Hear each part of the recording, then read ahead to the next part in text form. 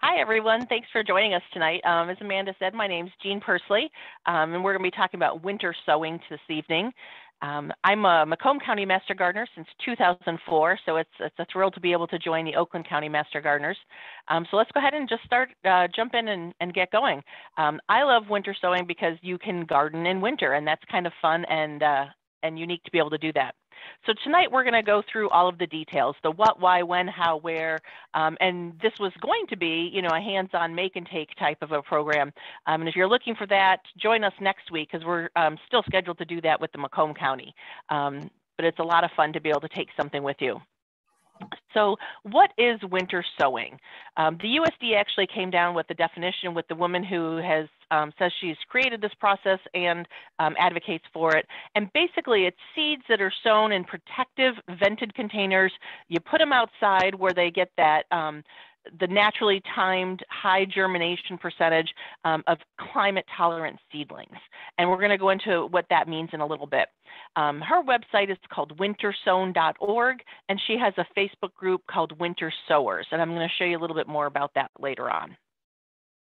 So what are you going to winter sow? You can get some cues from the plants themselves and from the plant um, descriptions or even the seed package if you're purchasing plants.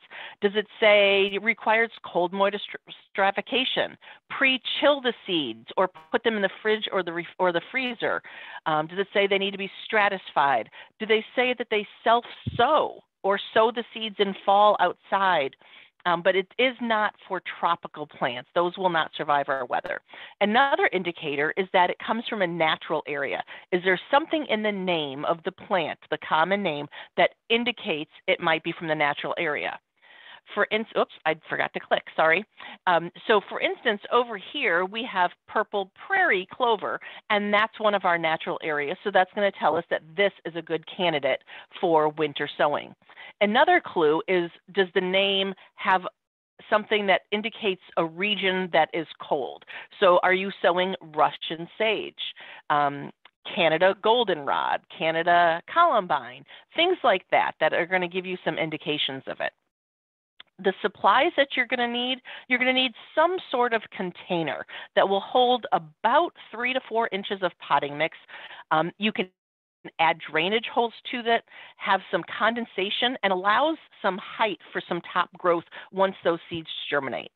Then you're going to need something to seal it, some sort of tape like duct tape, packaging, or painter's tape. And the wider tape that's like two and a half to three inches is really, really nice. It makes it easy to work with um, some scissors, a sharp implement. You're going to need something to puncture the bottom of your holes with um, to be able to make some drainage holes in that. Drills work really nice, as do knives. Um, I started winter sowing this week finally, and I came across a five-in-one painter's tool and it has a little pointed end.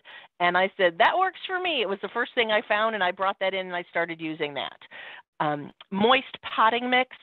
Uh, you want to make sure it does not have the water retaining additives in it because that'll make it too wet for you. You also um, don't need seed starting mix.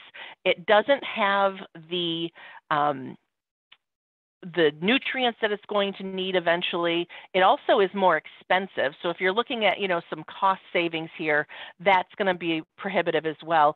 And it dries out really fast. So it's really just not the best thing that you can use. Um, you again with soils, you don't want to go out and get garden soil. That, as we know in containers, tends to be too heavy. Um, some people use it and they are successful. So if that's what you've got on hand, rather than going to buying some potting mix, you could sure try it. Um, and having fertilizer in that seed starting in the potting mix is going to be okay as well. You're going to need seeds, um, whether you harvest them in your yard, get them from friends, or purchase them. Something to mark your containers. Um, I really like paint pens. Um, some people use nail polish or grease pencils. Again, what do you have on hand? What do you not have to go buy? Sharpies, don't use the regular Sharpies. They don't tolerate the UV lights and they can fade. Um, and you may not have a plant labeled come spring. So you wind up with a bunch of seedlings that you're not really sure what they are quite yet. Some other things that you might want to have on hand, depending on your containers, um, it might be some sort of plastic to cover the containers depending on what you're using. So if you've used some clear plastic and used it as a drop cloth for painting, you can reuse that. Um, if you have an old shower curtain maybe that got ripped or torn or you're getting ready to throw away, you can cut that up and use it. Or even some food wrap that you want to reuse again, you can use that outside. Um, to label, some people like to put a label inside the, can the container in addition to outside. It's really just personal preference. And some folks like to use the inside cardboard tubes to toilet paper and paper towels and put those into a container um, for individual planting that way that's again personal preference. It may become really mushy and even get moldy, or it may draw that moisture out, kind of the same way those peat pots um, use when you use those, that wicks the moisture out of the soil. So those are some just some things to think of when you're going through this. So let's talk a little bit more about containers to decide what containers to use, you're really only limited by your own imagination and what goes into your recycling and your uh, trash bins. You know, so before you throw something away, look at it and analyze it. I really, really, really like the milk jugs and then juice bottles. Those are two of my favorites. Um, they just, because I have them and I have easy access to them, they work really well, as do salad greens. Um, the salad greens, um, you know, they come in about three or four inch container. You can take two of those and use one as the top. Oh, can you, there we go. One is the top and one is the bottom. And now you have a taller container as well as a nice size container that you're going to be able to sow in if you get your um, juice or milk in the cardboard containers, you can lay those the long way, cut out the top and cover that in some plastic wrap. Um, ice cream tubs, deli and dairy containers, um, your bakery containers, you might get a cake in, something like that, or even a um, the rotisserie chickens. People use those; those work out really well. You can reuse plastic baggies. Um, you know, just today I was looking and I was in my pantry and I looked at and I saw this bag of tortillas that we use all year long. And I'm like, gosh, I've been throwing those away. I could even use those to do this in. So really it's just thinking about what you have. The same thing I used up um, the last of a cereal box the other day and I'm looking in that, that waxy kind of paper, the plastic that's in there. I can use that. I can put some flour containers into that. Yeah. I, I can use that. I can put some potting mix into something else and set that inside, and now that's created that protective environment for me. Um, some people may have an old cleared storage tub and they will use cups inside of that. Maybe you have a party rather than throwing away those plastic cups, you can wash them and reuse them or reuse some of your flower pots from plants that you've purchased before. Do you have a kiddie pool? That maybe has a crack in it and no longer holds pools. Well, that's now your drainage, right? It's a broken pool, but it works perfect. Um, you could even take a bag of potting mix and lay it flat, cut an X in it, and peel that back, sow your seeds, and then put some of that clear plastic over the top. Maybe you somebody delivered a dinner or a dessert in a foil pan with a clear dome. Wash that out and reuse that, and you've now got your grow space as well as your soil space or your potting mix space. So it's really just what do you have on hand that you don't have to go out and buy again. Some other things that you might want to use, depending on if you're having issues with grubs, um, is coffee filters or newspapers in the bottom. It's something that will allow that water to still drain out, but will prevent maybe some slugs from getting in. I don't do that because I don't have problems with slugs, but it's something, it's one of those things that's trial and error and experience you'll be able to know whether or not you need. So why do we want to winter sow? Well, I love it because I can do it in January and February, right? I'm not out there trying to pull weeds. Um, you know, I don't have anything else going on in my garden other than trying to remove maybe some invasive species or things like that. So I can play with plants right now. Um, there's nothing better than getting that potting mix all over your hands and digging down into the soil, into the soil, into that uh, potting mix and having that on you, and then being able to play with your seeds and spreading them out and getting everything just right. The other thing is the expense. It's very cost effective. You don't need lights and trays and shelves and heating mats or anything like that. You could just use your recycling and your trash. Um, it's a great way to repurpose, reduce, reuse, and recycle. The other thing that's really, really nice too is, um, you know, we know we can go out and we can throw seeds out in the fall or sometime in the winter. Um, but the challenge with that, there's a couple of challenges, is we have birds and mice and other, you know, things, maybe voles that will eat those seeds. Um, so you're not going to have all of those seeds there to germinate. The other thing that happens is, let's say you cleared a 12 inch square and you put down some some um, seedings, some seeds to, to grow. And this is where you want plant A to grow next year. So you plant your seeds in the fall. Well, what happens when all those weed seeds germinate and now you've got this nice dense layer of stuff and you don't know what is what? That's eliminated in this process as well. The other thing that's really nice is with you know when you start something inside before you can take it out you have to take it in uh, take it out take it in increasing your day length outside and that's called hardening off and we don't have to do that with this because they're already hardened off because they're already growing outside um, the other thing you have to be considered concerned about is when they're outside and you get those spring rains, is that going to wash away your seedlings or the seeds and they don't even germinate? Um, they may rot. You may not get enough moisture and they're going to dry out what's really, really nice with this is there's some basic guidelines to follow, but it's so flexible. You can vary this to meet your needs with what you have. And then, of course, the reason any of us grow any seeds is the diversity, right? You just can't always find the, the species and the cultivars that you want in the local garden center. So this increases that diversity for you. Um, and again, we have those hardy seedlings the seeds are going to be receiving that cold moist stratification naturally, just the way they do in nature, right? Seeds are dispersed through the fall and all winter long, and they're going through that cold moist stratification. They're getting the freeze and the thaw, and they're getting rained on and snowed on, and all of that helps to break down that coating on the seed and make it ready so that when it warms up in the spring, it germinates and grows. I also love this because it's so easy. It's so fun. I love that it's loosey goosey and laid back and casual, and that's my personality. Um, I know there's some of you on here that know me, and that's that. This is me. This was like made for me, is how I feel. It's just so fun. Um, over here on this picture, you can just barely see that this is one of the seeds that's starting to germinate. And that was on April 24th of that year. So that was my first seed that year that I spotted that germinated. So that gives you an idea of when some of these seeds are going to start germinating. But if we have a warmer spring, it might be April 5th. Now, um, I know you're right next door in Oakland County. I'm up at the northern end. Um, so I'm kind of parallel to, um, is that Rochester Road, that 32 mile is?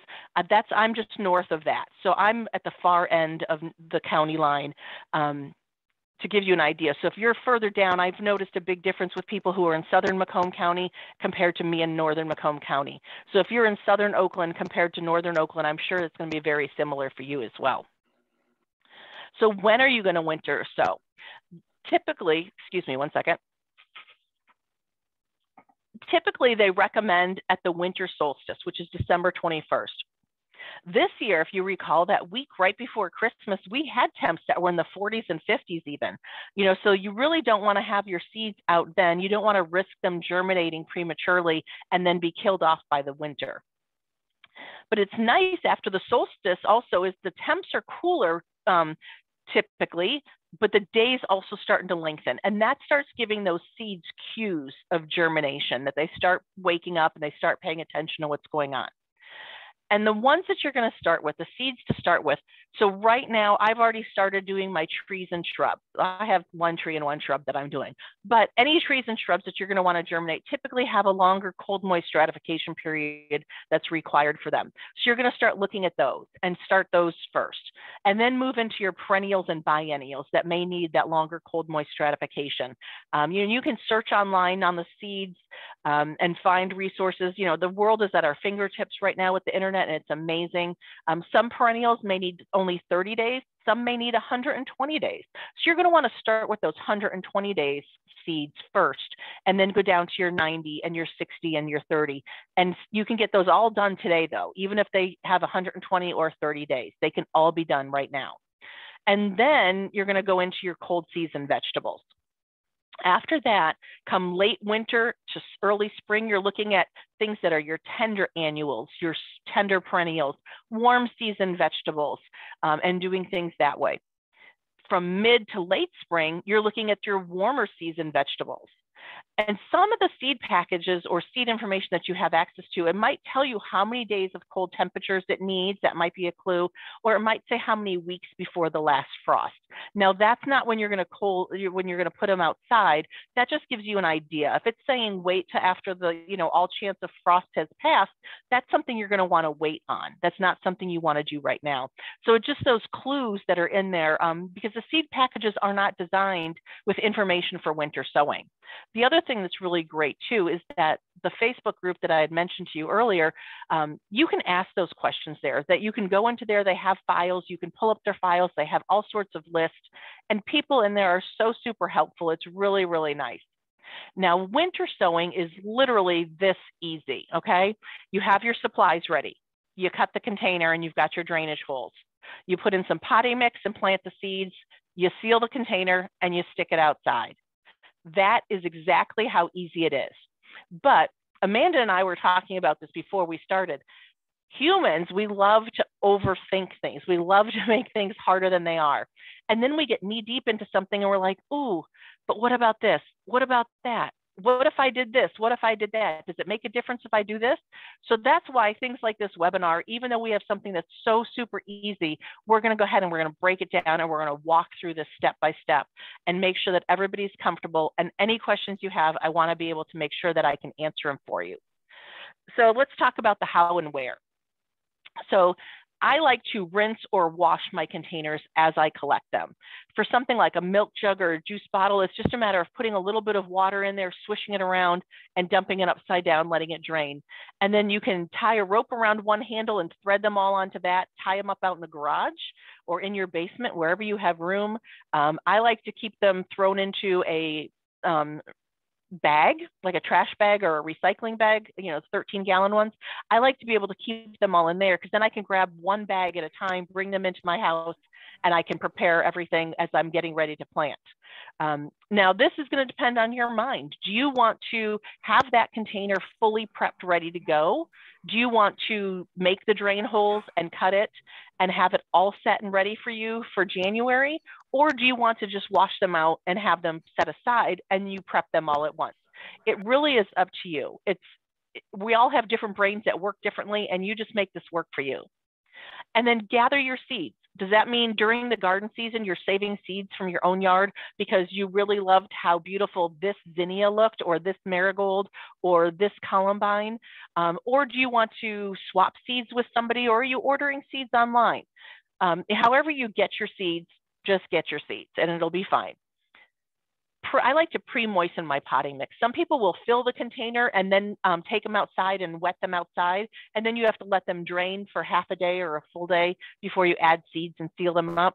Um, I mix it into, I have an old dish pan that I use, plastic tub dish pan, and I just mix the, that in there with some hot or warm water and it um, rehydrates it really, really nicely. I fill my container, I scatter some seeds, and then I close my jug up and um, tape it and label it and put it outside. Now, outside, where do you want to put that outside? Um, ideally, you're going to want it near a water source because at some point in time, you're going to need to be adding moisture to this. My water source is also a high traffic area next to my garage. Um, you know, we have packages dropped off there, the hose reels there. It's, you know, I've got to shovel it during the winter. So it's not someplace that I like to keep my containers over the winter. So I leave mine out in the back, but there's nobody near there. The dog doesn't go out in the back. Um, you know, nobody, no people go out there except for me to fill the, fill the bird feeders. So I know that that's a safe space. Um, but if you have a backyard that you have dogs that do zoomies in the backyard, you probably don't want that in the backyard. You maybe want it on the side or the front. Um, and then as things start warming up and the snow is gone, you can move it to that safe spot near some place where you can have access to the water.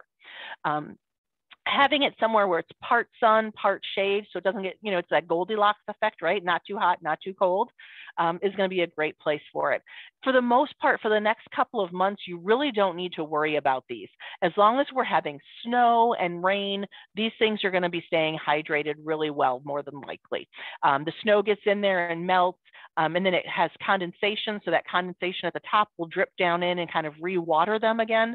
Um, and that really helps all you have to do is go out, you can look at them. If they're a lighter brown, you know it's dry, or you can pick them up. And if it's not as heavy as it was when you set it out there, um, then you can go ahead and water it. And, and just keep in mind that you need to check on those as it starts getting warmer. So let's talk a little bit more about the house. So the labeling. I like to use paint markers um, and I just mark it on the outside on the top. Um, some people like to use permanent marker because they don't want to have to go buy a paint pen. So you can take duct tape across the bottom. So you're going to label it before you put potting mix and seeds in there, put a piece of duct tape on it and write down what you're sowing inside.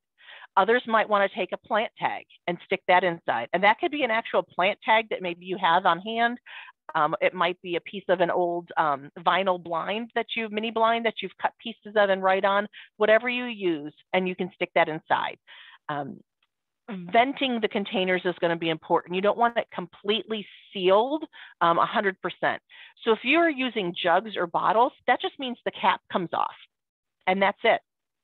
If you're using a bag, if you're reusing Ziploc bags, you seal it and then leave one end open with something like a clothespin that hold, make sure it doesn't completely seal so that moisture can still get in.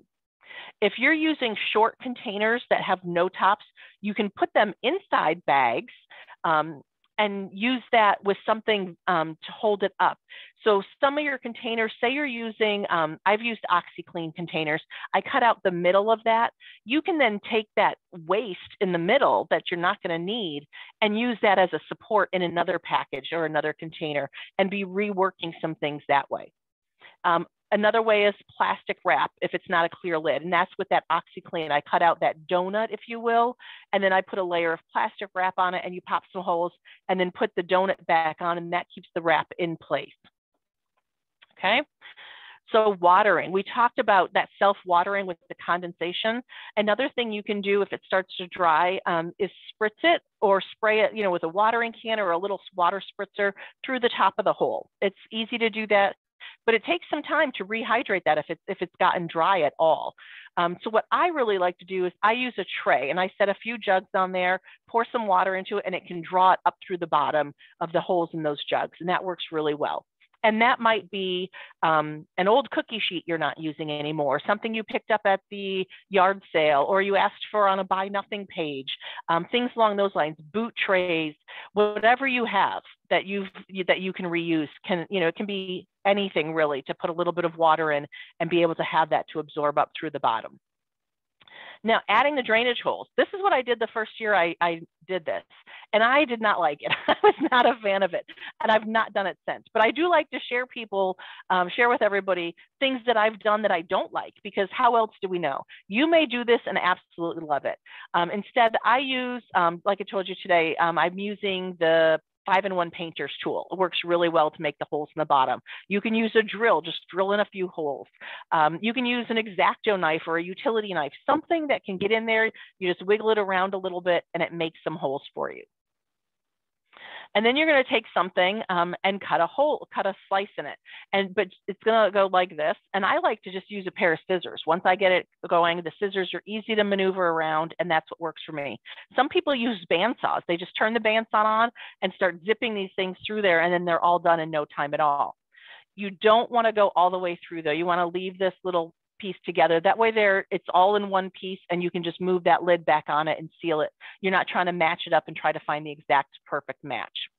So when you're putting the seeds in, you can decide how many you want to do. You might want to do like a pan of brownies, right? And cut this up like a pan of brownies and have nine individual seedlings um, and spread them out. And it may be different depending on what the seed looks like. These seeds are a little bit bigger than these seeds. And these seeds are even bigger. And this container is a half gallon jug. So I only used five of them. So you can certainly do it that way. And when I first started, that's how I did it because I thought I don't want the work of having to separate these later on.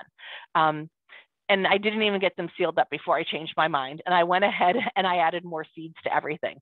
Um, so to give you an idea, this is blue flag iris, and these are larger seeds. Um, these are pretty good sized seeds. These seeds, I actually have about two dozen of them in here.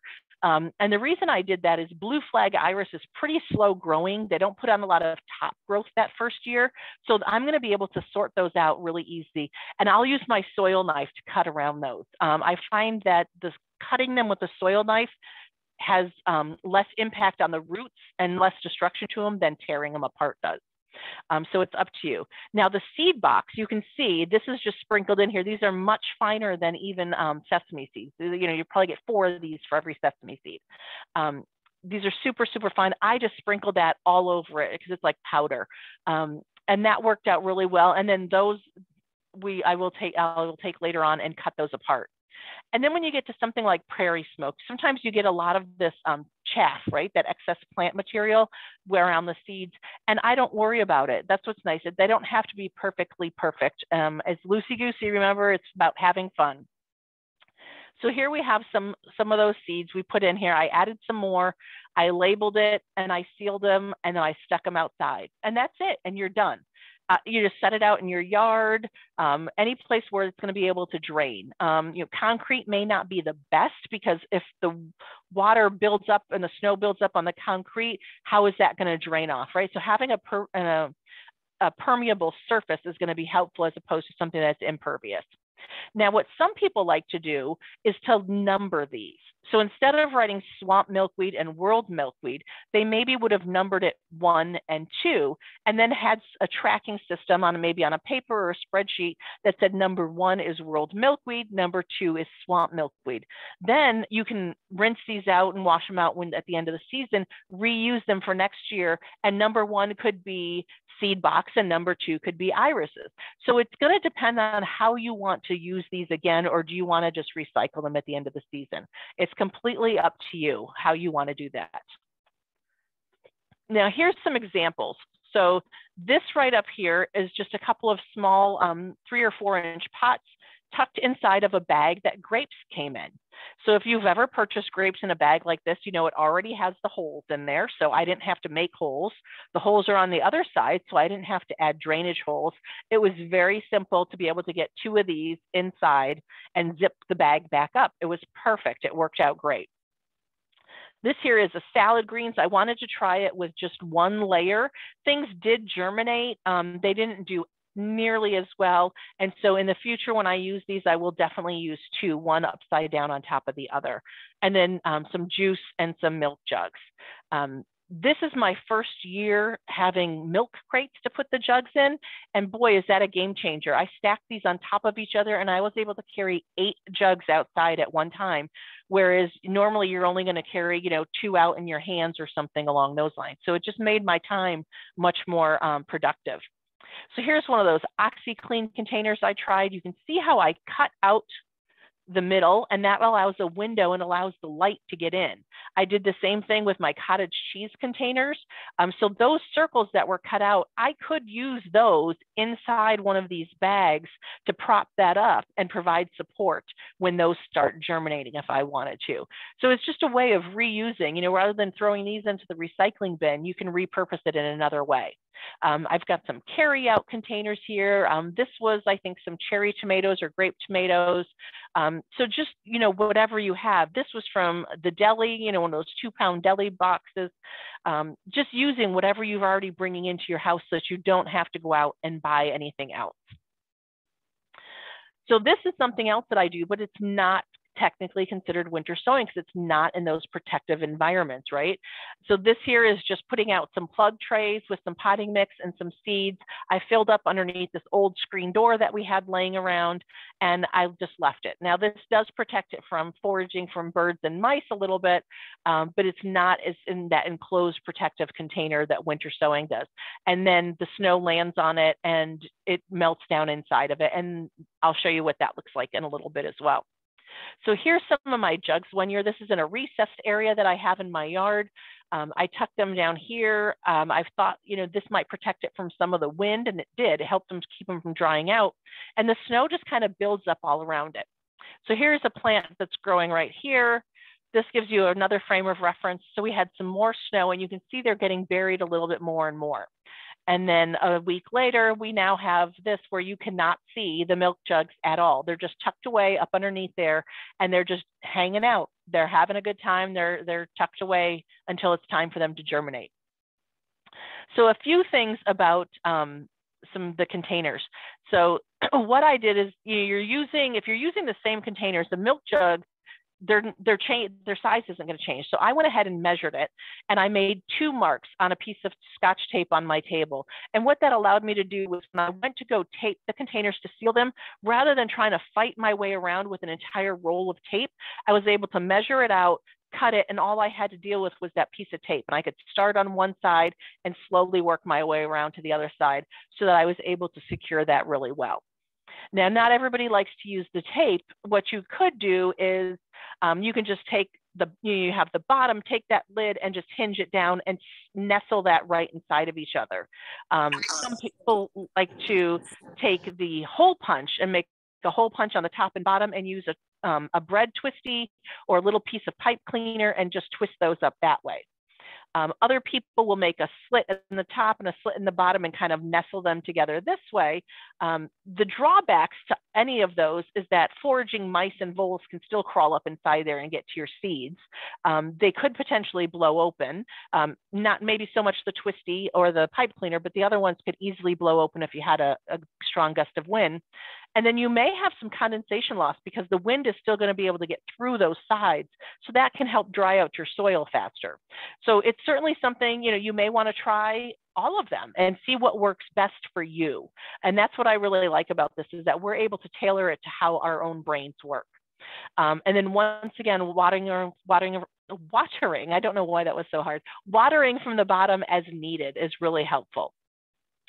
Some people like to, um, you know, once we hit April, May, and things start germinating, they like to open them during the day and then close them at night. And that's why a lot of people don't like to tape them. Um, I leave them closed until I'm ready to plant them. Um, or till it's nice enough that I can leave it open all the time. I don't typically open and close.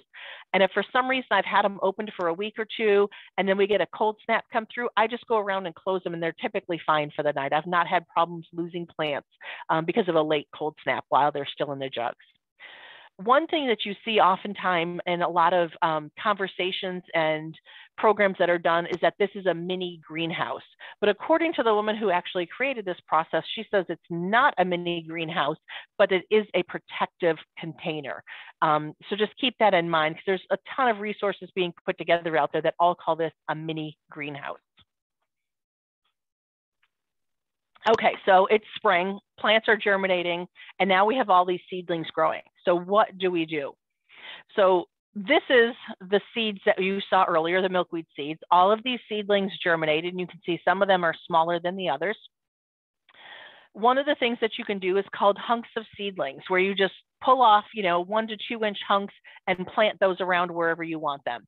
Typically, you want to have them about two inches or two sets of true leaves, right? And we know what the true leaves are. These are your true leaves. The little ones, when they first germinate, those are the cotyledons or seed leaves. So you want to make sure they have the two sets of true leaves or at least two inches. Um, another thing you can do is pot them up individually. So maybe you have some two to four inch containers and you want to put a little bit of potting mix in there and put your seedlings into that.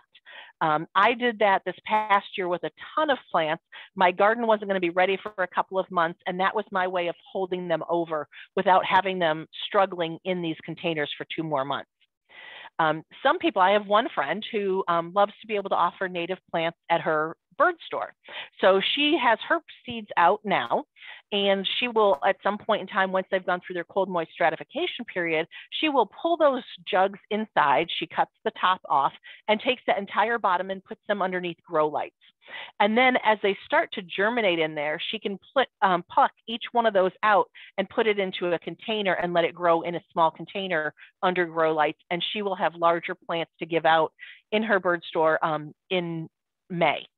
So it just depends on what you're looking to do. I'm not in a rush to get my seeds any larger, so I let everything happen outside. Okay, so let's take a look at how this works. So this here is that jug with all of the roots. These are the roots. There's just a mass of them. These roots get so big in here. And I've planted up one here and one here, and I started pulling them apart individually because I I just felt like to myself, like that just can't be right. I can't be able to pull these things apart, ripping their roots and plant them and have them do okay. So I wanted to try. And that's what we do, right? We're master gardeners. We love that science aspect. And so I said, let's see what happens. It's just seeds. I'll have some more from my plants again this fall. And so I spread them all out and then I planted them all up and then I mulched them with some wood chips and said, okay, let's grow. And they did really great until the monarchs came. And if you've ever watched monarchs, they love milkweed seedlings because it's that juicy, tender seedlings. Um, the, the plant material, it's not as hard as some of the more mature plant materials. And they were laying eggs like crazy all over this. I kept having to move them onto other plants. Um, so they really did a number on these seedlings, but I did have some of them survive. So the seedlings will work like this, but if it's going to be a milkweed, know that you may want to protect it from the monarchs when they start hitting the area, um, just because that really takes a toll on the seedlings. Okay, so let's take a look at some other species. This was really surprising when I put my program together um, and was adding these images to it. I was super surprised when I put them all on one page because New England aster really gets going later in the season. I was really surprised that it was so much larger compared to the Culver's root. But the Culver's root doesn't get as big as fast in one year. And the same thing with the turtlehead. Those are both slower growers individually when you look at it that way. Um, and you can see the difference here. You know, so the turtlehead has some really nice leaves going up this way, or I'm sorry, the Culver's root, but they also have a whole lot of that are just now germinating um, here at the end of May, and you're seeing cotyledons. And then my turtlehead was kind of pretty sporadic cup plant, purple prairie clover, um, and then nodding wild onion. Both of these are pretty slow growers. The cup plant has big leaves, but it grows slow that first year. Um, mine didn't get much bigger than this. Um, also, once I planted it, the bunny ate it. So it had to recover a little bit. So here we have some more, again, tons and tons of cotyledons, all on the same day with that large growth of the New England aster. Even the brown-eyed Susan, you have a few that have some nice big true leaves, but a lot of really fresh cotyledons as well. Let's take a look at this showy goldenrod. It looks like it's pretty good. Um, this was grown in a juice container. This is the root ball. So this has roots all the way down that three to four inches or so of that juice container. And then this is the bottom. Had this been a larger pot, those roots would have kept going in a larger pot, but they, you know, they got root bound there at the bottom. Here's those plug trays I showed you underneath the screen. So these all germinated and they're all doing quite well later on. And they're doing great. So they can stay in there, you know, and leave them in there for a couple of months because they've got a nice um, root ball area to be able to grow. So it's just another option, but remember, it's not winter sowing. So my seedlings, I potted up into um, three, four inch containers. I also use some of my super packs because those have a decent sized root ball. So I use those for some of the smaller plants. So this is what they look like in June. Um, here's that cup plant getting planted out. It looks so small in the when you put it into the mulch, it just kind of gets buried and lost. Um, but here's the seedlings that I potted up. So these are some two inch seedlings, um, two inch pots and some four inch pots. And I just left them out um, so that they could grow out until my garden space was ready. Now the milkweeds and some of the other things that the rabbits really like, I went ahead and put them on a pallet that I recycled off our Buy Nothing group and some free kitty litter buckets that I was able to source. And I just elevated it up the height of a kitty litter bucket. And that was enough to keep it out of the way of easy reach for rabbits. So I was able to have this little nursery. So as I was ready to plant plants, I just went over and went, oh, what do I want to plant today? Or I have this space in my garden. What do I want to put in it? And I was able to have my free plants that I had grown out that way. So this is the garden that I was waiting to put in. I added this space right here. Um, this addition had been put in a couple years before, so those seedlings are still growing in. I put in um, the rain garden, you know, a few years ago, and so now I'm trying to tie it all together with the other flower bed that I had added in. I'm trying to reduce some of my my lawn space that I don't have to mow it as much. So what had happened was on July 25th, my son-in-law found this boulder online um, for free. Somebody was giving it away. So he went and got it for me and just delivered it. And so I was ready to plant. I was just waiting on that and it was perfect timing. When I had my wood chips dropped off to start this garden, um, my tree guy brought me some logs. I'd been asking him for some logs. So he brought me those and I was able to create some pathways in here as well so I can still access with my mower and my wagon and be able to move um, mulch and plant material around in the future. And then I was able to source these um, bricks on our Buy Nothing group in our community, and I'm going to create that as the edging for this garden. So I'll be able to, to finish that um, hopefully this year or next year. So we'll see, um, but I'll show you what I did this past summer with it. So, oh, and look, I even have a bunny ready to, to come and eat all the seedlings that I plant, and he did. So the next day I took some of my seedlings that I had grown and some seedlings that I had purchased from plant sales and laid them all out, right? And we know we put the pots out before we plant them because then we can walk around the space. Um, I took several pictures of it and sat down in the shade and looked at them. Is everything where I want it to be? Do I want to move anything? How is it before I plant it? Um, so that I'm only planting it once. Now I do want to point out, if you can just barely make out, these plants right here, there's a little bit of red foliage. And that red foliage is because it had gone through some cold weather while it was in the container. So it, the, the cold had changed the foliage color a little bit. But keep in mind, this is a two inch pot, okay? So keep those in mind. Um, and then, oh, let me go back. This, this here are some great blue lobelias. There's six of them, three here and three over here. So now this is what they look like, all of those same plants planted. You can barely make out these plants with this red foliage. And this is, it's a nearly native, it's called royal catchfly. And then here are those um, great blue lobelias there, and you can't even see the ones I planted back here. But look at them a month later. So we've gone from the end of July to the end of August. These are those red, um, the royal catchfly with that red foliage. They were in the two inch pots a month ago, and this is how big they were. So imagine if instead of having them in those two inch pots for two months, they could have gone in the ground. They would have been huge and then here's the great blue lobelia here, and then some in the back. And then a couple weeks later, my great blue lobelias are blooming, and except for this one. So this is what's still interesting is each seed is still different, right? So these grew into really nice big plants and bloomed. And this one is like, are you even going to make it to next year? Um, so that's what it looked like by mid-September. These are those royal catchflies they were over a foot tall. Um, and if they'd have had a few more weeks, they would have bloomed for this year. So um, had I put them in the ground instead of into the two inch pots for two months, I may very well have had blooms on those this year. And then here's some coreopsis that I had in another part of the garden. But that's how big these seedlings got. Um, it's just absolutely amazing what, what these plants can do. So failure is an option, right? Like sometimes the best plans just don't work out. So some people go, ah, I tried it one year, it didn't work. I'm not going to do it again. Okay, well, what went wrong? Let's take a look at that. Let's break it down, right? If something went wrong, if it didn't work, something went wrong, let's try and do it differently next year. So it might be that the light, you have too much or too little, right? Did you fry all your seeds or um, did they not germinate because you had them on the north side of your house and they never saw, um, you know, under a maple tree and they never saw any sun? How about that water? Do you have too much or too little? Did they drown and rot or did they dry up because they germinated and then there was nothing there to sustain the roots? What if you put them on the side of the house and you forgot about them until you went over there at the end of June and you had these half dead seedlings um, that you completely forgot about? Well, most of us, you know, carry phones around. You can set reminders on your calendars. Um, check them March 15th, check them March 31st, um, April 15th, April 31st.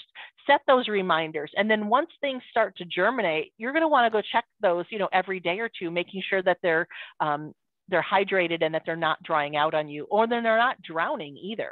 Um, you know, are they spindly and they flop? Are they short and they stumpy? Did you have slugs eating them or rabbits eating them? You know, what can you do to offset and mitigate those problems that you've had? And if you can't figure it out, um, you know, post a picture somewhere online in social media and ask for advice. Who doesn't love to give their opinions to things that when somebody needs help? And maybe when everybody's helping each other, we can all figure out what went wrong with that one problem and sometimes it might be, oh yeah, those were like 15 year old seeds. I threw them in there just to see if they germinate or not. And they may just have not been able to germinate. So it's just, you know, maybe they weren't viable seeds to begin with. Um, you know, it's just really, you know, I hate to see people give up on this after trying once with one jug and not being successful. So I have some plants I'm just going to highlight really quickly. These were some plants that I did um, for a make and take last winter. Um, Brown-eyed Susan is one that's a really easy to germinate. Um, it'll reseed around your garden. It may be too prolific for you. I've not had that problem at all. Um, I love when it pops up wherever it wants to. And prairie or yellow coneflower is another one that does that. It's they're short-lived and they like to just pop up wherever they're they're happy. Um, I love how dainty these petals are. The bees love them, um, and it just really looks electric with this um, blue monkey flower in front of it. Um, really graceful and delicate. The purple prairie clover is a plant that's like my nemesis. I can't get it to grow in my yard because the rabbits keep eating it. So I'm going to grow some more this year. I got some um, chicken wire and I'm going to cage them and hope that the rabbits can't get to them because they love them. But this is in an area about two miles from my house at a public garden space that I had planted some and I just love them. And the rabbits haven't found them in this space. They're doing really, really well. The foliage is very dainty. This is one of those plants that you would consider a see-through plant um, because you can plant it, but you're not going to get that high impact with large blooms or large foliage. Um, so it's a really nice plant that you can have and add it to your garden and, and tuck it in places. Oh, I don't know if you guys are hearing this. I hope I forgot to turn the volume off on it. Um, but this is um, swamp milkweed, which is really terrific. This brings in all sorts of pollinators, right? So this here is a um, giant swallowtail nectaring on it. I get all sorts of wasps and bees and um, clearwing moths and um, other butterflies that will come and nectar at this. It's just a really, really high attractant. And the fragrance is absolutely astounding. Um, the petals drag down this way and stand out really beautifully. Um, it's a host for the monarch butterfly, so you'll find caterpillars eating that. Um, you can find eggs on your milkweed plants. Um, on the flowers, they will lay their eggs on any part of the, the plant and it's just absolutely beautiful. The next one is the wild nodding onion you can see how it got its name with this nodding blooms on here. Um, the upright strappy foliage is just so pretty. The blooms before they open have this little bit of a mysterious look to them. And as they start to open, they're still hanging and then eventually turn upright in this fireworks type of bloom. It's very pretty. Now, the resources I mentioned earlier was wintersown.org and the Facebook Winter Sowers. And the Facebook group, it looks like this, and it's going to be a group by Winter Sown Educational. That's the nonprofit name that, that sponsors this. Um, I did find two extension-based um, publications, or I'm sorry, they're not publications. They were um, like a bulletin or an, uh, a article. And these are the links for them. They're in the, the handout that you should have received. And these both, neither one of them were really completely up to what I would have liked to have handed out. I think they both mentioned the mini greenhouses and they both used some terminology that wasn't quite accurate. They gave me the um, impression that maybe somebody had written it off of somebody else's blog post um, type of a thing, rather than having it actually be some science-based information. Um, so I do have a Facebook page. It's called BMO Logistics Garden. You're welcome to like that and follow along there. Um, I love sharing some fun informational things. Um, I get to be silly and goofy on there, um, not quite as much as I do on my own page, but it's still fun to share some, some gardening information with everybody. Um, I will be more than happy to answer questions. Um, if you have anything that you want to go back and look at, we can do that too. And I thank you all so much for coming today we did have a question uh, in the chat, a couple questions actually. Um, the okay. first one was regarding when you're planting your seeds. I know a lot of your pictures you showed us just have the seeds on top do mm-hmm. you do you just leave them on top or do you push those in at all or cover them up or? Yeah so it's going to vary based on the seed right? Because does your seed information say that it requires light? Does it say that it requires dark? Some plants need you know a, a quarter inch of soil over the top or an eighth of an inch of a soil. Most plants that i'm using are um, the natives and they typically are dispersed by wind. Most of the seeds that i'm using are wind dispersed um, so those are just kind of floating off and then they're landing on the soil. And then through that cold moist stratification, through wind hitting it, through rain hitting it, it kind of makes contact with the soil. So what I do is I just kind of tap it around a little bit and do it that way. I do not cover it with any soil at all because I try to replicate how it may have happened. You know, there are some seeds that ants carry off and go bury in a tunnel somewhere. Um, I don't have those plants though, so I don't use that method. So it's just it's really going to based on the on the plant which seed you're using and knowing what that requirements are but i do just have make ensure soil contact. Okay. And then somebody was asking do you have any experience with uh, columbine? I do the native columbine absolutely. Was there a specific question or concern that was arose? Um, they just said if you've tried or if you haven't had mm-hmm. any success with them yeah, I, I love the native columbine. Um, the hummingbirds do, the bees do, um, the goldfinches love the seeds. So if you can get to the seeds before the goldfinches eat them all, um, those I had I did um, I winter sowed those last year um, because I I have so much of them and I wanted to share them because I just love them. It's such a great plant. Um, but normally in my garden, I just take the seed heads and walk around and kind of scatter them and let them grow because um, they, they reseed really, really well that way. So rather than normally tying up, you know, jugs that way, I just scatter those directly in my garden. Because those are such a unique um, when they're even when they're just have one leaf on them they're such a distinctive leaf pattern that for me it's very easy to identify. But they do winter sow really well. And then somebody was asking too can you use seeds from hybrid coneflowers to sow over the winter you can if you're if you're interested in hybrid cone flowers, absolutely. And then somebody was asking about using salad containers and what did you mean by needing a second layer? Do you just mean turning one on top of so the other? take two right? So you have two salad containers and you just invert one onto the other so that you have like a lid and a base. So that gives you that three inches of soil on the on the bottom or potting mix and a three inch for the growth on the top and then somebody was asking if you've ever tried uh, Asclepias tuberosa Oh yeah. Oh yeah. Um, I just sowed some today actually. So yeah, that does really, really well. And as you know, it's a slow grower. So it's one that um, if you have a shorter container or smaller container, it works in really well. Asclepias tuberosa, which is butterfly weed, that that grows really well. Mm-hmm. And then um, do you ever have any problems with critters getting into them like squirrels and the rabbits? I mean, is that ever yeah. a problem?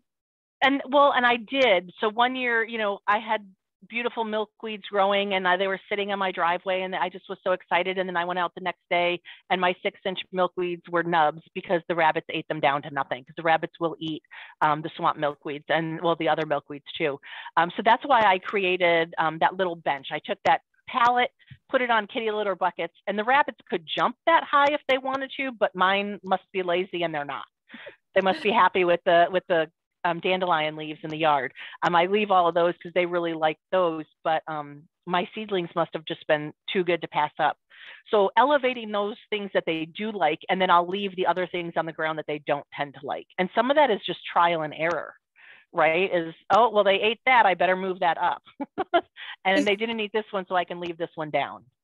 Is it mainly a thing like they don't bother them until after they've germinated kind of thing yes i've not had problems with um, rabbits or squirrels knocking them over um, mm-hmm. you know but if you have squirrels in your yard you know they can jump around and be playful so maybe don't put it near trees where you know that they are active don't put them near your bird feeding poles where they're going to be active. Try to keep it out of their pathway. And somebody's asking what source you use for wildflower seeds. Um, I use those in my yard. So I have native plants growing in my yard that I've purchased from various local native plant growers like um, Wild Type and East Michigan Natives, um, there's a few others that I've used. Um, and I grow them in my yard and I'll harvest those seeds. Um, I have also purchased native um, plants or seeds from Prairie Nursery and Prairie Moon Nursery. But I try to get a local genotype um, or super local genotype whenever possible. Those are my secondary choices because that's more of a um, eco-region ecotype. And have you ever is can you do winter sowing with like bulbs at all or is that a thing? Well i mean so with the bulbs they're they're different because those are oh wasn't this fun? I learned that word from master gardener college last year what uh, last year what they call those um geophytes right? That's such a cool word geophytes. So it's a different mechanism so it's already has everything into it. And what you can do with bulbs you know we've known this part for years where you can put them into containers into pots and some people put them in their fridge um, to speed up the time frame. So like say for instance you know this bulb needs 12 weeks of cold. Rather than having that 12 weeks go through the winter they might put it 12 weeks and start it in september in their fridge and then take that container out. And um, have us blooms earlier. So you can do that.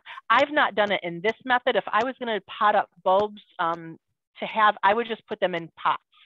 Um, and you can leave those outside in a protected area or even in your garage. Because I've brought some of my um, larger pots into my garage and I thought perennials were dead. And then next spring I look and I'm like, what is that growing out of the container? And there's something growing and it hasn't even had any moisture since it was moved into my garage in October.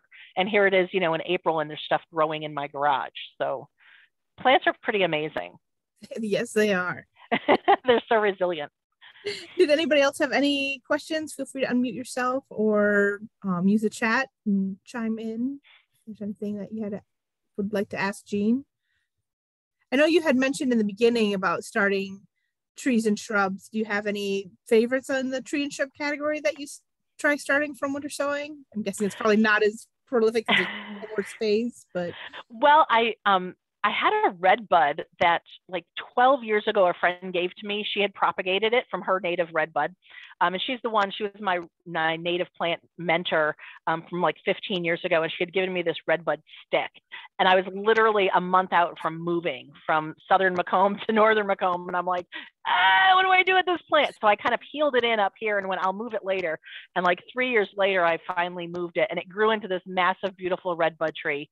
And um, then I wasn't, I was watching it and pruning it properly at the beginning. And then, you know, you forget to maintain your plants.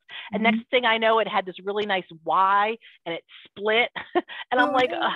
oh no, oh no, I didn't prune it properly. Um, so it put it put out seeds. So I harvested every red bud seed I could find mm-hmm. on that plant that I could reach on the tree. And I put them. So remember I showed you that screen that had all of that. So I I did a plug tray, an entire plug tray, but I had filled up my deep ones first already. So I use these short ones that are like two inches.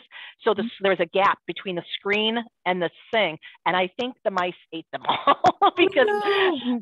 that or the wind came and blew them, nothing germinated. And I couldn't even find seeds, like they were gone. So that didn't work. So I am doing some red bud seeds again because you never ever use up all of them at once, right? Until you get mm-hmm. more. So mm-hmm. I'm doing some red buds again. So because um, I need to replace that tree that I'm killing. Um, and I, they're just such beautiful trees. So I'm doing that one. And then this year I'm doing um, witch hazel. Um, and they have some of the most beautiful seeds you've ever seen. They're just absolutely exquisite, shiny, blacky brown colors. Um, and so I'm super excited about that. So yeah. So, but I have not had success propagating them in a with a woody propagation by cutting. Um, they all just rot. I don't know what I'm doing. So maybe if you guys have a webinar on that, I'll watch that one because I need help in that area. I think I overlove them and they die. Easy to do. Well, thank you so much for coming and speaking for us. Again, if anybody else has anything that they want to add um, before we close things up, but it was a really fascinating presentation. And I'm sure a lot of people are probably going to be digging through their seed stash and seeing what they can get started while we're waiting out the cold for the next few weeks or so. Yeah, and that's what makes it nice, right? I was outside for like 10 seconds to drop off some milk jugs and was right back in. yeah, it's all you want to be perfect. out right now. it was perfect. Great. Well, Thanks thank- so much for joining us, everybody. Yeah, thank you so much for talking for us as well. And um yeah. Yeah, thanks for coming in today. Thank you. You're all welcome.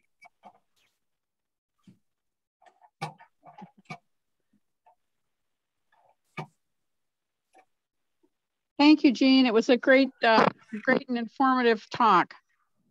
Oh, thanks, Sarah Jane. I appreciate it. I'm like, that voice sounds familiar.